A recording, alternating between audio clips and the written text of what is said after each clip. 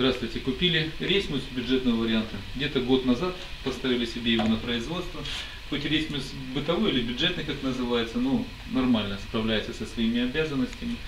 Ну, мы немножко усовершенствовали, добавили ему, удлинили стол, добавили дубовых досточек. И с той стороны так же самое сделали, чтобы на выходе было проще.